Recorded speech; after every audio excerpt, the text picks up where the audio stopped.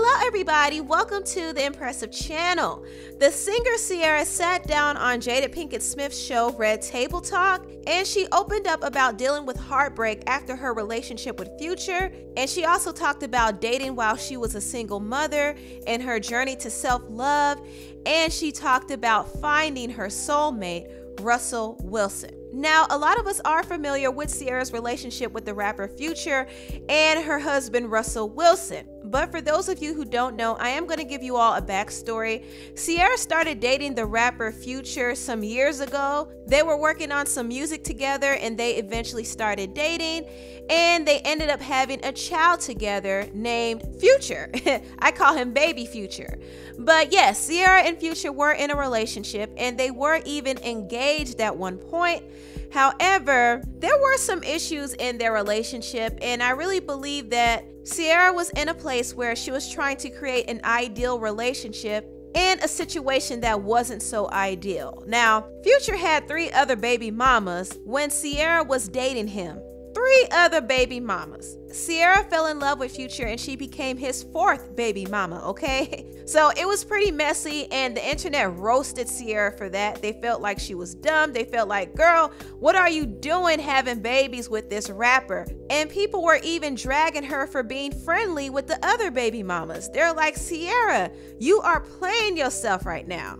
So Ciara was dealing with a lot of criticism and she wanted to get married and build a family with Future. But see, Future was not husband material, okay? Even though they were engaged, Future really didn't want to be pressured into marrying Ciara. He's a rapper, he had women throwing themselves at him. Not only that, allegedly, he was still fooling around with one of his other baby mamas, Brittany. That's allegedly, okay? And you can see in this picture how the other two baby mamas are just smiling and cheesing, while Brittany was like, girl, I guess, you know. she didn't seem all that enthusiastic about Ciara being in the picture. And Future wasn't all that enthusiastic about marrying Ciara. So both Ciara and Future ended up breaking off their engagement. But Future wanted to let the world know that he was the one who called it off. The engagement was being called off. I called it off way before any cheating rumors ever came out. Yeah. The engagement was already off. Was it mutual? Was it like, okay, we both agree this ain't gonna work, or was it you saying this ain't gonna Um, work? I said it wasn't gonna work. Uh, How did she respond? She was like, you know how she responded. I don't know, I wasn't there. She... Now you see Future laughing and chuckling at the fact that he broke Ciara's heart. And yes, Ciara was heartbroken at one point, but she had to go through a process of getting clarity about her situation. She had to realize that she deserved better. Now that she had her son, she knew that there was no way she was going back to dating men like Future. She was done with F boys. I think becoming a single mom was the start of that. Right. And I'd be like crying because I am not in the happiest place and it hurts when I'm going through it. What was the most painful aspect of that? The most painful. Was it the breakup? was it the um, idea of being a Single parent. It was a combination of everything Right. because none of it was ideal. I grew up with my mom and my dad being together. The idea of it being mommy and daddy that made baby. Yeah. And then also you're living your life in front of the world. Yeah. So I that adds that. a whole other layer. Yeah. I don't feel like I'm failing right now. Other people They're gonna roast me. Yeah. Here they come in the comments section. Right, not to right, get right, right, fried. right, like, right. you know, Exactly. all that stuff, you know, it's it's real. You you can't help but to think of it. And the one thing I will say is I'm really afraid of losing myself. Mm. Got it. Okay. And I think if you sit in situations that aren't healthy or you let them like linger too long, Yeah. you start to lose yourself. You Right. know, I don't like crying all the time. I don't like being sad. So I'm mm-hmm. like, how do I get out of this? Exactly. Right. Because I like being happy. Like trying Like, every I single like- way. I'm like, we're gonna have to push through this. Exactly. Yeah. When I was thinking about my son, I know what I want to feel. Like right. I know the kind of love like that I want for us. Yes. Right? Yes. they cracked me up with their commentary. But at that point, Ciara was just like, you know what? I'm a single mother. I have a son to look out for. Things had to change. And Ciara did talk about her journey to finding love again. And she also talked about her journey to finding love within herself. I've always had the same goal of one, wanting to be loved a certain way. Right. But I was just walking in the wrong direction. I was Right. looking in the wrong direction. I thought I was gonna be single for a long time. Being in that new Right. position of being a single mom is like when you're thinking about dating, that's like a bit of a like, what's this gonna be like? Because I look different now. Like, not saying I physically look different, but I, I look different because when I when I date now, it's not just me, it's somebody exactly. else. You have somebody else. So you created a different vision for yourself. Absolutely. Yeah. And I was very clear on it, but I also desired something different. Loving myself was Yeah. huge Yeah. because once I start to love myself, then I'm also loving my son. Yeah. Right? Then I can also love how I can also be loved how I deserve to to be loved, and I can also love the right way too. Exactly. And the moment I start to do that, like the taste of something that I thought kind of was like cool or tasted right before, it didn't taste good anymore. There you go. Yeah. When Russ came into our lives, Future was 10 months old. It was different. Yeah. I never had that feeling in my What was the feeling? What was it it? was just like, it was calm. The way he looked at life, it was different. Also, the energy with my son, it just felt right. And then, of course, the consistency.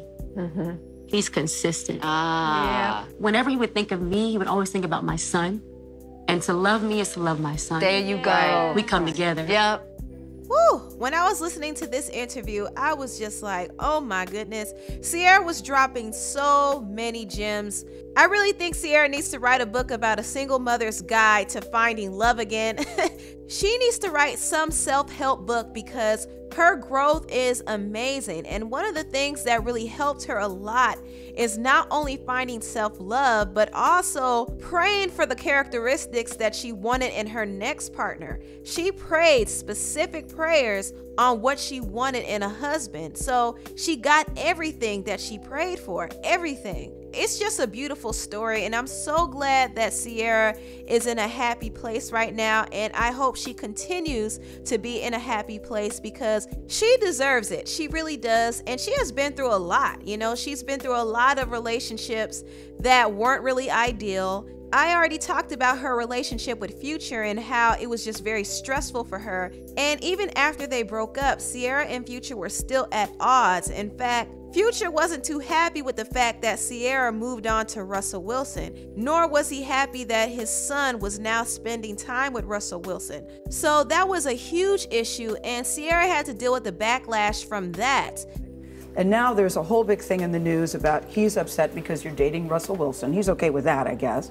But he doesn't like the fact that you've exposed that you've introduced your son to Russell Wilson. Um, it's been very interesting, you know, to hear what a lot of guys have had to say, and, and I feel like in a sense it's a bit of a double standard, you know, because at one point in time when we were together, I took care of his kids as well at a very young time in our relationship. Because he has three other children, does he Yes, not? he does. He actually has four. One's adopted. But I really, um, I was involved very early in the stage of us getting to know to know each other, and that's been a, a big conversation. It's kind of like, well, what's the difference here? You know, I, I think that even for the men that were outspoken, it's like you want, wouldn't you want someone to love on your child or love on the child that you know you're speaking about? And more than anything, it is a child we're talking about, and that's the thing that I think people have to think about. It's like remove the adults from the situation. Like really, this is my child here. Yes, yes. You know, and and that's that's serious.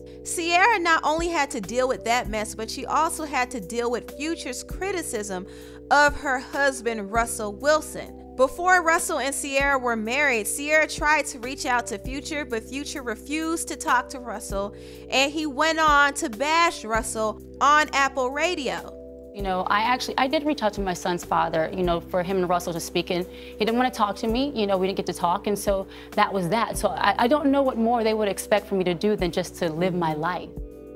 How you feel about that nigga Russell Wilson? Though? Nigga, don't think about it. Just say it. He do exactly what she tell him to do.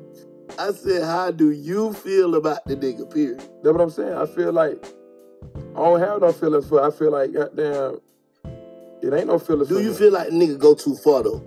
I feel like he getting caught I'm up talking about with your son. Do you feel like the nigga go too He far? not being a man in that position. Like he not being a man at that at, at that point. Like you not being a man. You not telling her, man, bro, chill out with that on the internet. Don't even talk to him. I'm your I'm your husband. You better not even bring future name up. If that was me, he, she couldn't even bring his name up. She know that. She couldn't even bring her ex's name up. I don't care what they gave you, what you don't bring their name up in interviews. Don't even do nothing around them. No, don't say nothing. I felt that the fact you don't you'd already been around my kid when y'all started going together and when y'all first posted the first picture, and I didn't even and you and you haven't even talked to me.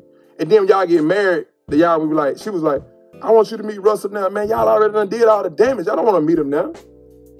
As you can hear from that clip, Future was sounding like a scorned baby daddy. He was so pressed. He was so pressed. But this is just an example of what Ciara had to deal with. And she has dealt with this situation with so much grace. Even while she was on the Red Table Talk, she made sure not to even talk about her child's father in that way. And that takes a lot of maturity. And I really do respect Ciara and Russell for staying away from the drama and keeping it about the kids. It's all about the children, not about your hurt feelings, but about your children. Anyway, tell me what you all think about this video down below. Please like, comment, and subscribe, and share this video if you care. Thank you so much for watching, and I'll see you next time. Bye.